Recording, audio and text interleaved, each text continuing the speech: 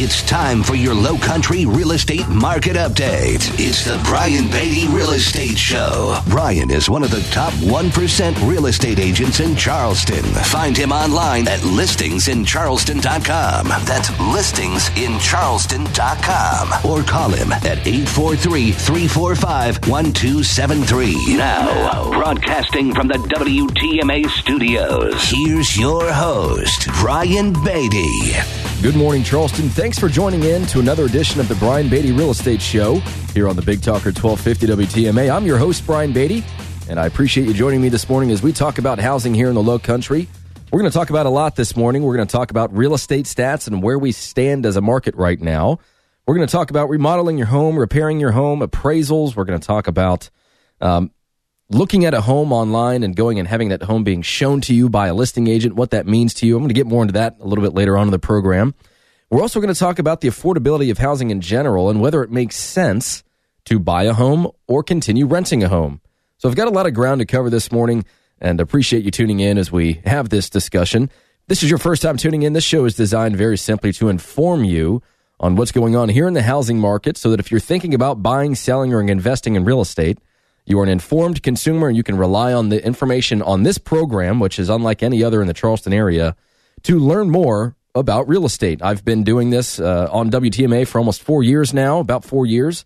I've been in the business for about 10, sold about a 1,000 homes, uh, already sold 75 this year. So I'd like to bring my experience to the table and give you an idea of what's going on in our market. So I want to jump right in, but if at first, if at any point in time you'd like to contact me, uh, have a discussion off air about your real estate needs. You're going to buy, sell, or invest in some real estate, or you're thinking about getting into the business. I'm going to talk about that at the very tail end of the program. I invite you to either give me a call or text me at 843 345 1273. That's 345 1273. Or go to my website, listingsincharleston.com, where you can learn more about me and my team see everything that I've sold, search the MLS. And if you're thinking about selling your house, click on the Sell Your Home tab. You can learn more about my 2.4% listing commission, which is a listing incentive I'm offering this summer. So just 2.4% to list your house. And if you sell your home and then buy another through us, we're doing it for just a 1.5% listing commission. So that's anywhere between 20 and 50% in savings and listing commissions to sell your home with the Brian Beatty team. So listingsincharleston.com is the website to go to. All right, let me jump right into these stats. You know, at the, at the around the eighth, tenth of every month, we get new statistics from the Charleston Realtors Association, and it just continues to be this this awesome market for sellers as as a buyer and especially as an investor. It's a very challenging market. You know, homes are selling for more money in less time, and there are less of them. So I want to go through the stats, and I'm going to break it up by category, and I'm also going to talk about stats in the uh, general area uh, of, of our market. We're going to talk about different counties, and then we're going to talk about specific areas within those counties. So stick with me on that as we have that discussion, uh, which I'm going to go ahead and begin now. So uh, I know a lot of people enjoy listening to the stats on this program. It's one of the reasons why they tune in, and uh, I certainly appreciate that. Hope you hope you do as well. Uh, but let's start first with new listings. You know, if if you look at the major issue in our market right now is just a lack of inventory. There's just not enough homes out there to meet the ever increasing demand among buyers. So if you look at the number of new listings we put on the market this year, this is as of the end of April, of course. Uh, we've put about 2,200 homes on the market, which is almost identical to last year. There's a little bit of a variance there, but the the change um, in April has just been one percent. If you look at the 12 year, uh, 12 month spread, you know this time last year we're about seven percent ahead of the curve in terms of new listings that we've put on the market. But here's something really interesting. If you look at the pending sales, the properties that are under contract at any given point in time, over the past 12 months compared to the previous 12 months, pending contracts are up almost 17%. In April alone, we put 1,951 homes under contract. Last year in April, we only put 7, 1674 homes under contract. So we're selling more real estate. And if those, of course, then translate into closings uh, over the past 12 months, we've seen a 9% increase in closings. Last month, uh, we sold 1,463 homes. April before that, we sold 1,114. But if you look at the the closings overall, every single month we've had so far this year has outpaced the months in 2015 and in 2014. So obviously the listings are not keeping up with the amount of homes that are going under contract. So let me switch this discussion to price for just a second. If we look at the median price, the median price across the board in the Tri County area year to date versus the same amount of time in 2015 is up 7.5%. And if you've listened to the show regularly, I said, you know, when I gave my projection as to what I thought was going to happen this year, most of the national, you know, pundits and, and experts said, you know, we're probably going to see somewhere between 3 and 5% appreciation in our market. Well, for those of you that were thinking, you know, 3 or so percent, we've doubled that. I mean, we're at 7.6% increase in the median sales price. And I look at the median sales price rather than the average sales price because you get some some you know skew there in terms of more expensive properties selling. I like to look at the median because we've already sold uh, year to date a little over five thousand homes. We've we've put sixty eight hundred under contract, which again is well up from last year. So median prices across the board are up, and uh, we're going to get into greater detail in terms of the specific counties and then the areas within those counties. But I want to focus for just a little while on the month supply of inventory. You know, as real estate agents, we measure the health of a real estate market by looking at things like the month's supply of inventory, which by definition is the number of homes that are selling in a 30 day period divided by the number of homes available for sale. So if we look at the month's supply of inventory in April, we were at three and a half months, a balanced normal market where there's no upward or downward pressure on pricing or supply or demand uh, is somewhere between six and eight months. So we're at three and a half.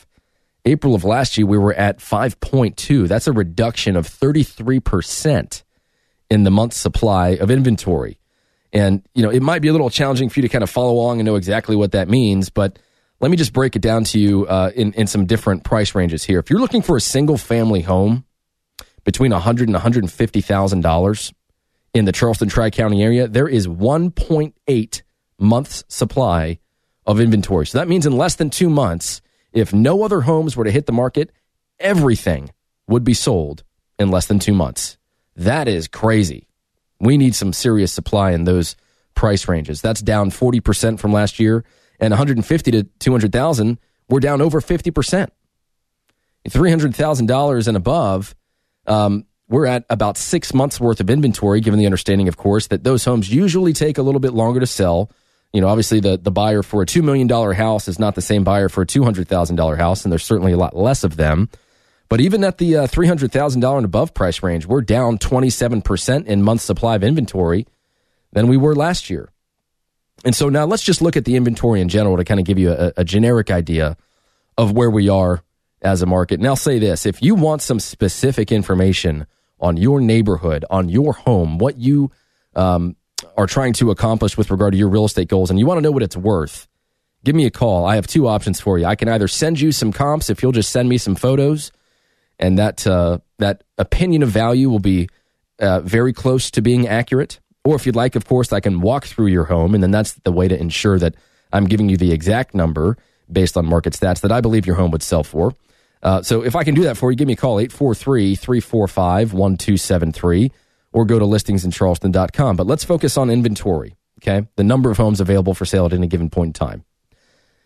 In April, we had 5,200 homes available for sale on average throughout the month of April. Last year in April, we had 6,600 homes available for sale. So, inventory in general, the amount of homes available for sale is a little over 20% less than what it was April of last year. And so, what does that mean? So, let's look at, as an example, you know, single family homes again. Let's look at uh, two hundred to three hundred thousand dollars. In April of 2016, there were 1,228 homes available for sale. April of 2015, there were almost 1,700. So that's a reduction of 26%. But in the 150 to $200,000 price range, that inventory has been cut almost in half. You know, you were looking at um, about a thousand homes being available between a hundred and two hundred thousand dollars in April in 2015. This year, half, 500, little slightly over 500. But that's incredible. just the amount of homes that have come off the market. And it's it's interesting to watch. You know, when when when December ends, when, you know, most real estate contracts end December 31st. Doesn't matter really when you list. Let's say you list in the summer, you put your home on the market for six, seven months. It doesn't sell. The agreement expires on December 31st. And then January 1st, we wake up and there's been this uh, huge amount of homes that have just disappeared from our market.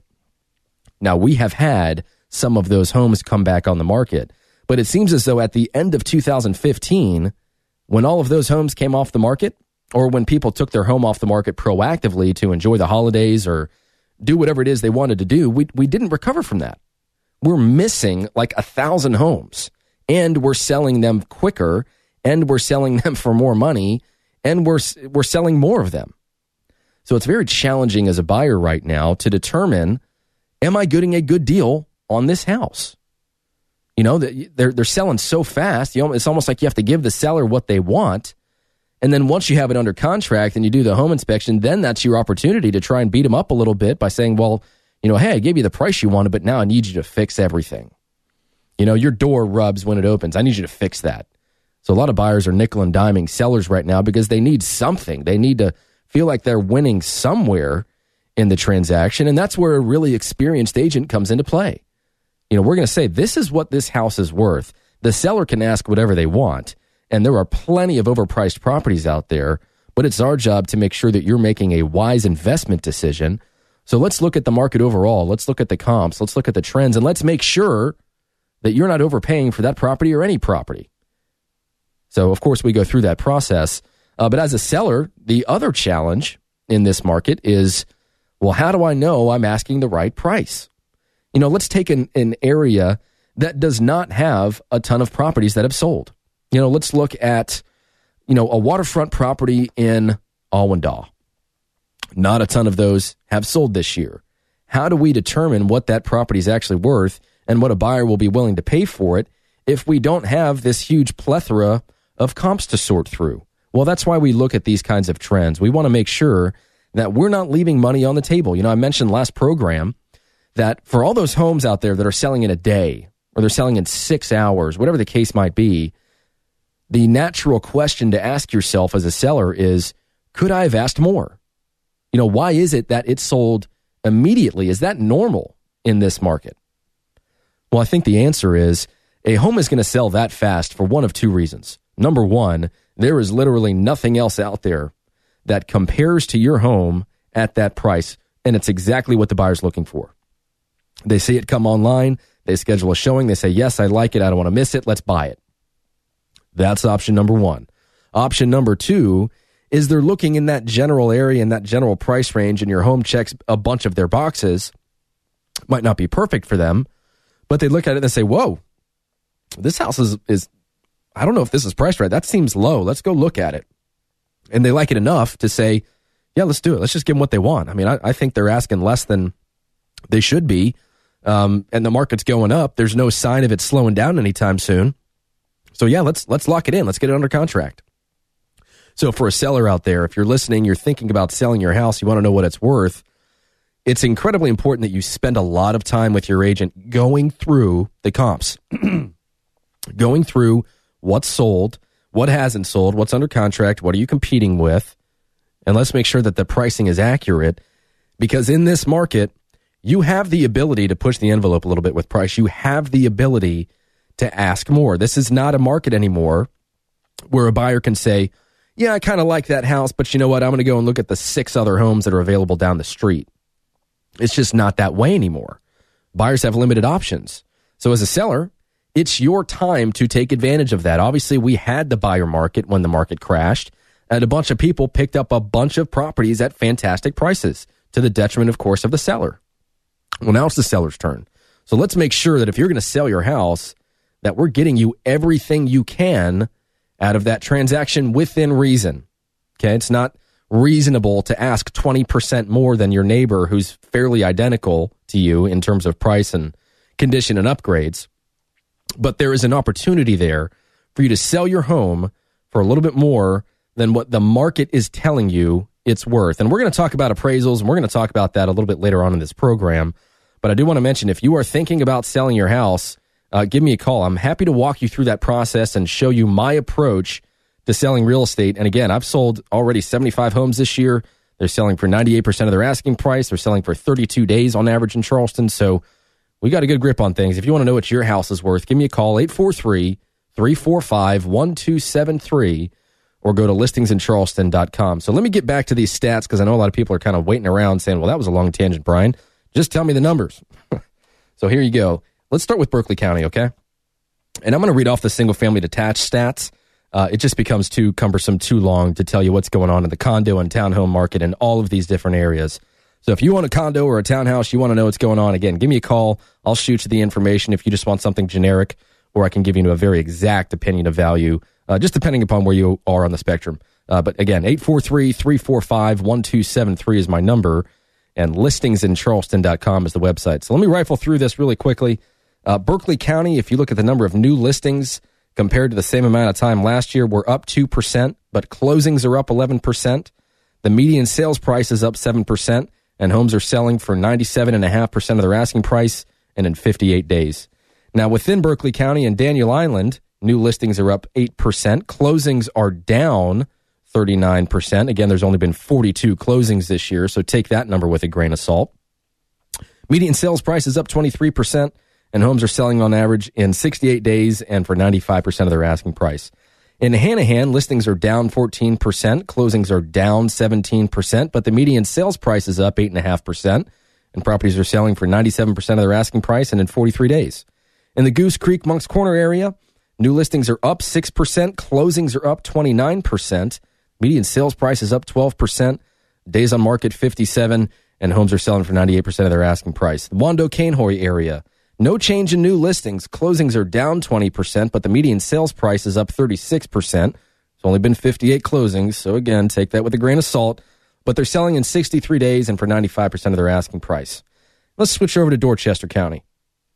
New listings are up 5.5%, closings are up 1.7%. Median sales price is up 7.7%. Homes are selling in 64 days and for 97% of their asking price. And within Dorchester County, the Summerville area, has seen a 2% increase in new listings, a 3% reduction in closings, but the median sales price is up 6%, and homes are selling in 66 days and for 97% of their asking price. The Dorchester Road corridor has seen almost a 20% increase in new listings. Closings are up 14%, median sales price is up almost 17%. Homes are selling in 57 days and for 97% of their asking price. The Hollywood Ravenel Meggett area uh, we've been at about a 50% increase in new listings. Closings are up 90%, only 49 closings again.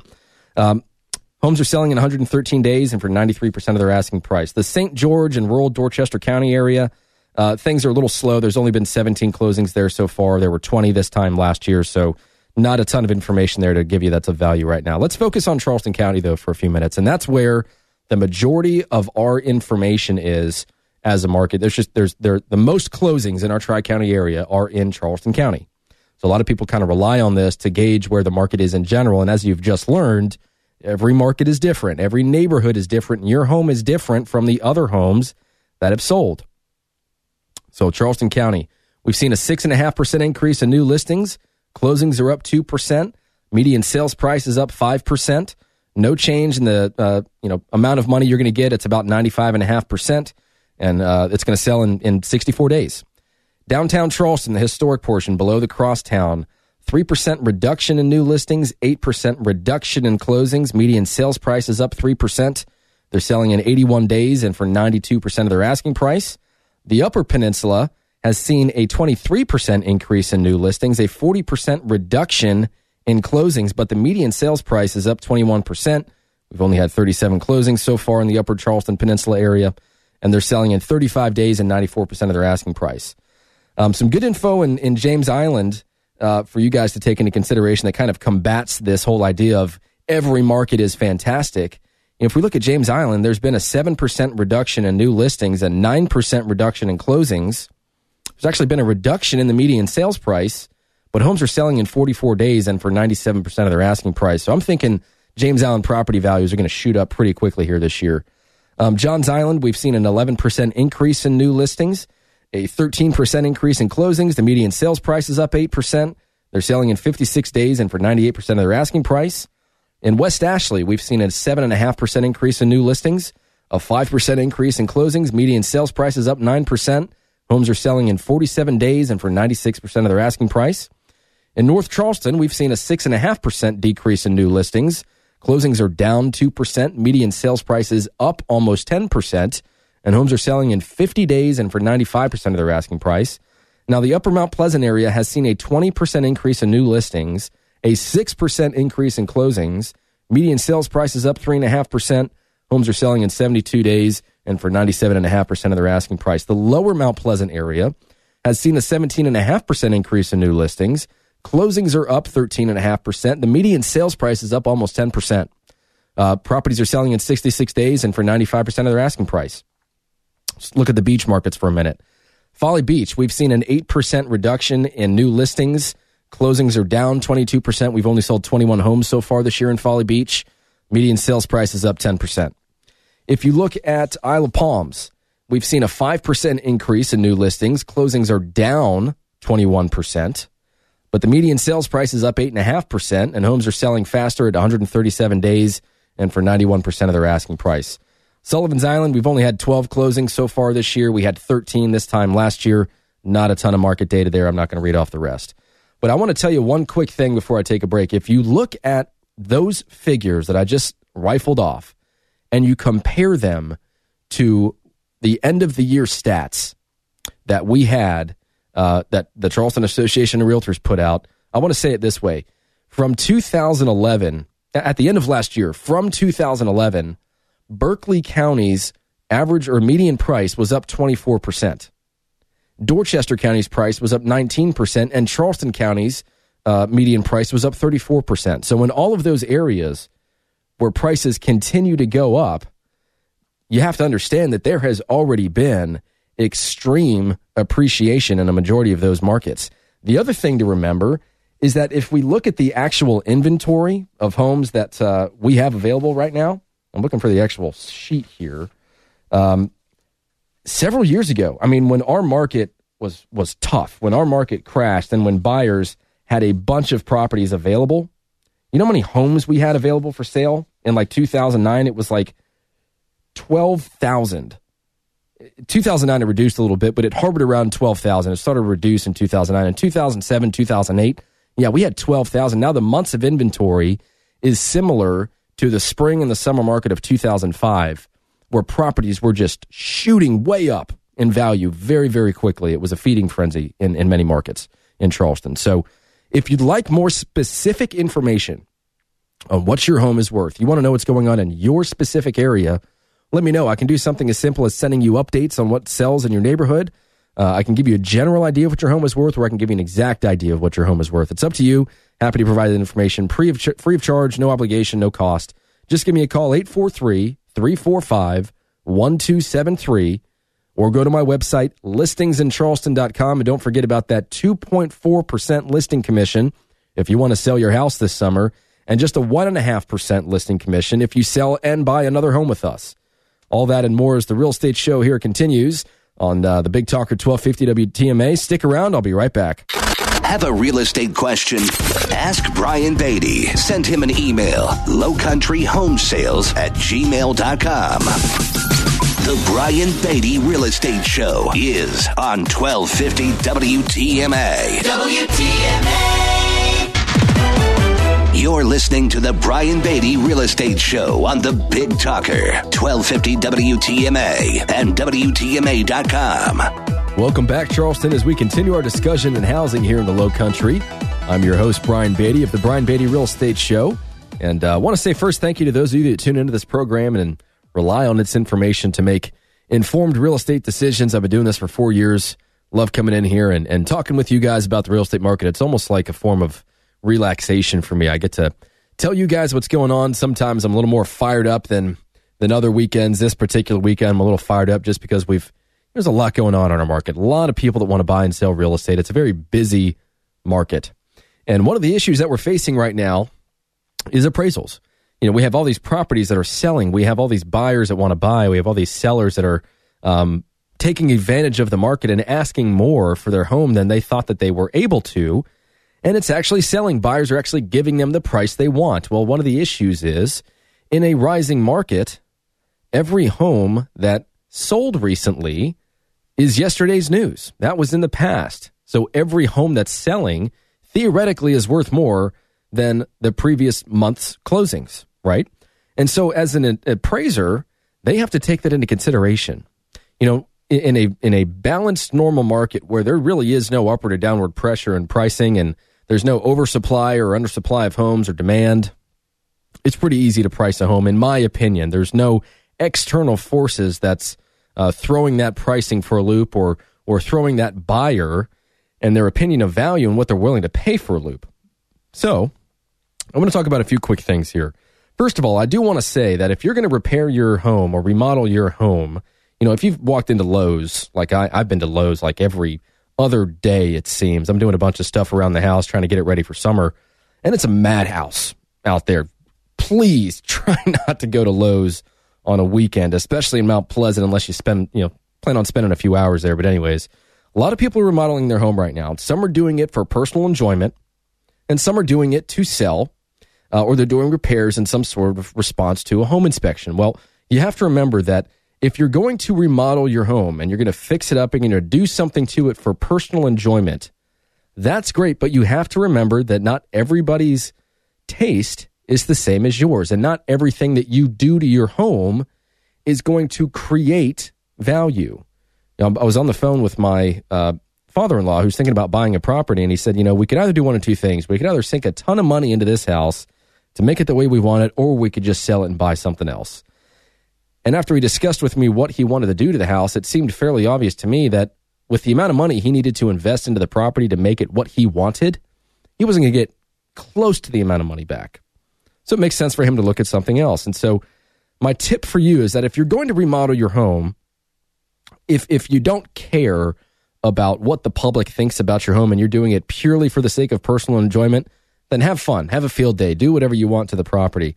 But if the goal is if at some point in time you're going to sell it, you might want to think twice about some of the things that you do to your home. As an example, and I will literally never forget this. I walked into a house, and this was years ago. This was like seven years ago. Beautiful home in Snee Farm. It was like 4,000 square feet. Uh, had a great looking pool. The house itself was was gorgeous. It was a foreclosure, and somebody got a really good deal on it. My client didn't. Uh, he got beat out.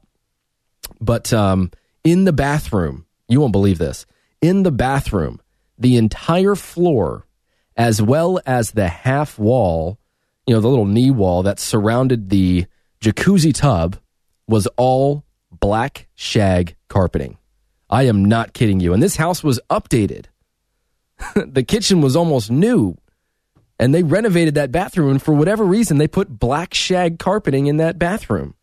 Well, guess what happened? They left the house. The stuff molded. It stunk in there. It was disgusting. Um, the point of that story, aside from it just being uh, incredibly ridiculous, and oh, by the way, a previous agent previously owned that home, um, which is mind boggling in and of itself. But, anyways, the point I'm trying to make here is that if you're going to remodel your home, make some budget conscious and somewhat neutral decisions if you're going to sell it. If you're going to just stay there, do whatever you want to do. Doesn't matter. Um, but the other point I want to make here is that if you're going to do repairs to your home, let's say you're under contract, you get an inspection, there's some stuff wrong with your house, you need to make repairs. This is a really important tip for you guys. You have to make sure, especially if you're the seller, that the appraisal does not occur while you're in the middle of making repairs. They have to appraise it as it's seen. We had an issue with a, a property where uh, a lot of the wood, it was wood siding, a lot of the wood surrounding the fireplace had rotted. So they needed to replace the wood around the fireplace on the exterior of the home. Well, the appraiser came by right when all the wood had been taken off the fireplace. If he had been there the next day, all the wood would have been there and it would have been caulked and painted and it would have looked as if it was brand new. Well, scheduling conflict happened. They couldn't come one day. They decided to come another day. It was a vacant house and uh, we got cut right in the middle of a, a, a, rock and a hard place. We ended up having to have him come back to the house, and everything got sorted out. But do yourself the favor of saving yourself that headache by timing the appraisal such that they come by when the house has already been repaired. The other thing that I will say is that it, when it comes to repairs, not so much appraisals, uh, because the appraiser is a buyer cost, but for a seller, if they are selling a house, if the buyer for your home is selling theirs first, you want to make absolutely certain that the contingencies associated on the contract with the home they are selling have been met before you make repairs on your home. In other words, don't go fixing a bunch of stuff in your house until you know for certain that the buyer can actually buy it. That's a really important tip, and a lot of people don't even think about that. Uh, but that's a great way of you saving money and saving yourself the headache of repairing things that you might not necessarily have repaired with another buyer. But with regard to appraisals, I do think it's incredibly important that if you're going to sell your home, you have it under contract. First, try and get your repairs done, then get the appraisal. If it has to happen beforehand, let them know what you intend on fixing. And on top of that, provide a list to the appraiser. You know, put it on your kitchen countertop. He won't miss it. Put the list of upgrades to your home, especially those that the appraiser can't see, right there in plain view for him to take with him.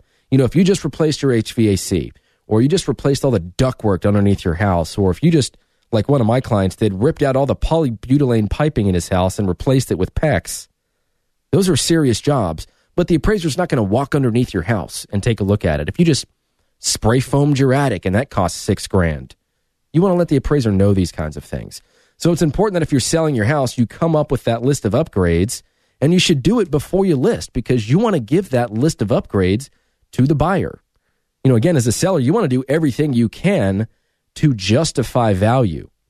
So list those upgrades, provide it to the buyer. As an agent, I can put that as an attachment in the MLS for the world to see. And then boom, you've got some more information to share with some buyers that helps you with your value and it helps appraisers understand what you intend on doing to the home if you're going to fix it or what you have fixed, along with the list of repairs and upgrades that you've done along the way. So there's a little tip for you in appraisals right now to help save you from the headache and the heartache of having an appraisal that comes in at less than the purchase price because it is happening. It's it's hard, understandably so, for appraisers to justify a price if everything else that has sold sold for less money because it was a different time in the market. You know, if you look at homes that sold six months ago, that home went under contract two months before it sold. They were looking at comps six months before that to determine the price now. There's a lot of room for error there. There's a lot of room for variance in opinion of value. So, as a listing agent, it's my job to do everything I can for you, the seller, to maintain your price and to create a higher opinion of value than normal through the use of information so that we get that price. That's one of the tricks of the trade that I think really successful and experienced agents are doing for their clients to help weather that storm right now, especially when it comes to appraisal. So if that's something I can help you with, feel free to give me a call, 843 345 1273, or go to my website, listingsincharleston.com. Again, the number is 843 345 1273, or go to listingsincharleston.com and don't forget about that 2.4% listing commission to sell your home this summer with the Brian Beatty team. And if you sell your home and buy another, we'll sell your home for just a 1.5% commission. That's 20 to 50% in savings in listing commissions for somebody that's, you know, selling well over 100 years. We'll probably sell over 200 homes this year. So would love the opportunity to speak with you about that. Stick around. We've got a lot more to discuss. Here's the Brian Beatty Real Estate Show continues on the Big Talker 1250 WTMA. Find Brian Beatty online at listingsincharleston.com. The Brian Beatty Real Estate Show continues next on the Big Talker 1250 WTMA. Now, the Brian Beatty Real Estate Show continues on Charleston's Big Talker 1250 WTMA. Welcome back, Charleston. Thanks again for tuning in to the Brian Beatty Real Estate Show here on the Big Talker. As we continue our discussion on housing, I want to talk about something that's very common, uh, not just in this market, but in any market. Let's say that you're a buyer and you want to go online and you want to look at some homes and you, you see something you like. And you click on that button that says request more information or schedule a showing, and you end up being shown the home by the listing agent. Doesn't matter if you contact them online or from a yard sign or at an open house or whatever the case might be. If you're a buyer and you are shown a piece of property by the listing agent, the person that represents the seller it is very important for you to understand a few things. First and foremost, that agent represents the seller and their best interests. Okay. You are technically a customer. You are not a client. They owe you very little when it comes to representation. In fact, when you're a customer, you know, somebody that has not signed an agreement for representation with a real estate agent, so let's say you're a buyer looking at a home, you're being shown the home by a listing agent. His duties are as follows. He has to present all offers in a timely manner. He has to account for your earnest money, provide an explanation of what it means to work with a real estate agent. He has to be fair and honest, provide accurate information, and disclose adverse material defects about the home.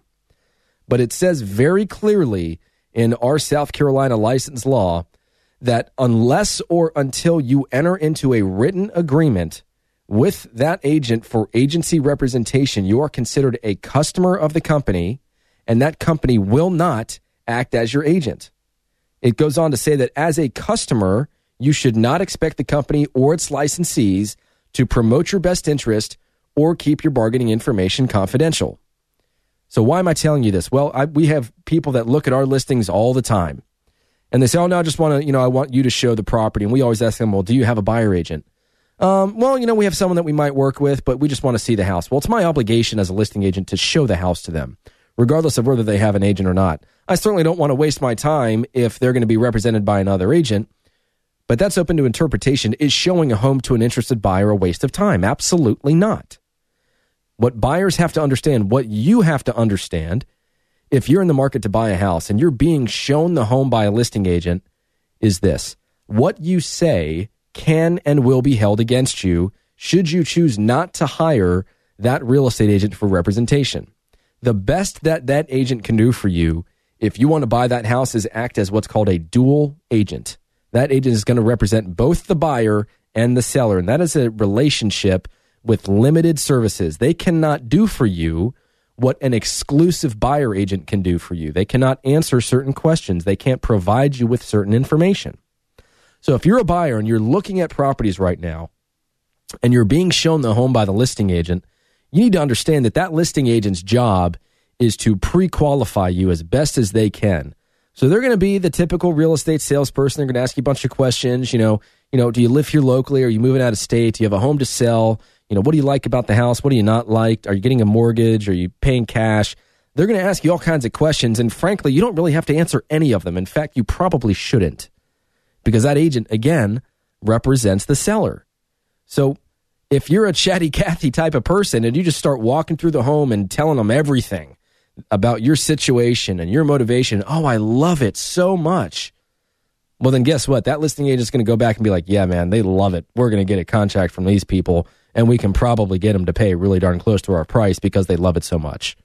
That's the position you're putting yourself in. If you're a buyer and you don't have your own representation, the only real benefit, in my opinion, to having the home be shown by the listing agent is that maybe that listing agent slips up and they disclose something to you that they probably shouldn't.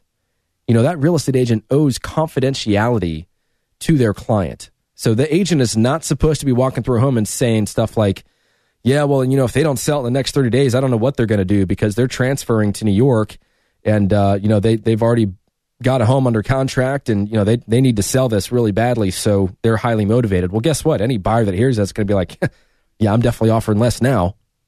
So the only benefit, in my opinion, really to having a home be shown by the listing agent is that maybe you, the buyer, if you're educated enough and know the right questions to ask, can get them to tell you something about the seller that they probably shouldn't. Something they might tell you that they wouldn't tell another agent. So, something to think about if you're online, you're looking at properties, you're thinking about buying something this year, hire a real estate agent that exclusively works with buyers like the buyer agents on my team do. That way, you have your own representation and you don't get stuck saying something that ultimately might harm you throughout the process of negotiating on that particular property. And again, the best that agent can do for you is act as a dual agent, but they are already committed to the seller. It's very similar to walking through a new construction community. Call me for those as well, because we can certainly help. 843 345 1273 is the number, and the website is listingsincharleston.com. We're going to come back with Our final segment, we're going to talk about the affordability of pricing and, and homes here in the low country. Does it make sense to buy or continue to rent? All that as we continue this program here on WTMA, and the Brian Beatty Real Estate Show. Stick around, we'll be right back. Stay tuned for more of the Brian Beatty Real Estate Show on 1250 WTMA and WTMA.com. WTMA. Expert news and views on the low country real estate scene. The Brian Beatty Real Estate Show on 1250 WTMA. Welcome back, Charleston. Thanks again for tuning in and listening to the Brian Beatty Real Estate Show here on the Big Talker 1250 WTMA. Really appreciate those of you that take the time to learn more about the real estate market here in Charleston, become more educated so that if you're thinking about buying, selling, or investing in real estate, you got a leg up on your competition. That's what I'd like to do on this program is just provide you with some information that you can rely upon. So if at any point in time I can do something for you, you have a general knowledge real estate related question, anything from that to buying, selling, or investing in a home, I'd love the opportunity to earn your business. I can be reached at 843 345 1273. Again, that's 843 345 1273.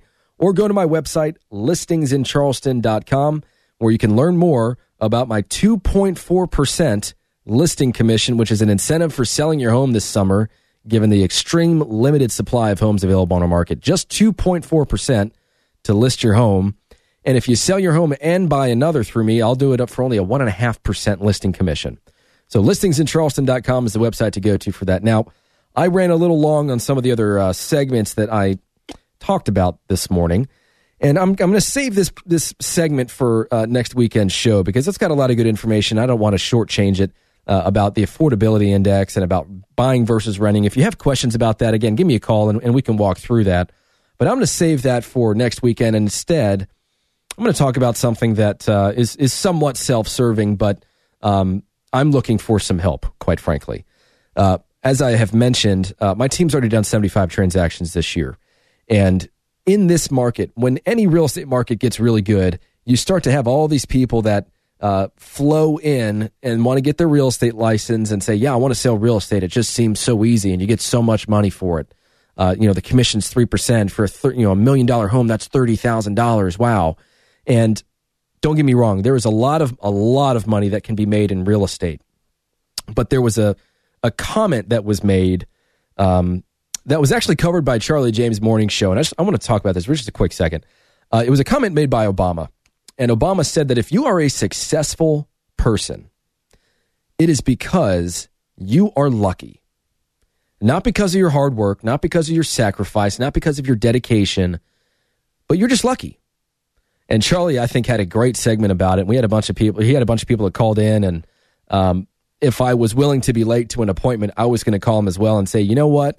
I have not worked as hard as I have worked over the past decade to get my company to where I am, to have someone say that it was just luck that got me there. And I think that honestly, if you sat or if you stood 10 entrepreneurs in a row, shoulder to shoulder, and you looked at them straight in the face and you said, You're successful because you're lucky and that's it, I think seven out of 10 people probably take a swing at you. I, I might be one of them, honestly, uh, with the amount of work and time that I've put into this real estate company to grow it and to, you know, I'll, I'll tell you this. I, I probably even should tell you this because it sounds like I'm a workaholic, but my God, on Wednesday of this week, I literally did not sleep. I pulled my first all nighter since college as if I was studying for a bunch of exams because, like, you know what? Rather than working all day and then coming home and spending some time with my wife and daughter and then them going to bed and then me working all night, I'm just going to get it all done. You know, I'm getting it done and I'm not going to sleep until it happens. I think that's the spirit of a successful entrepreneur. And for someone to tell me that I'm that I'm lucky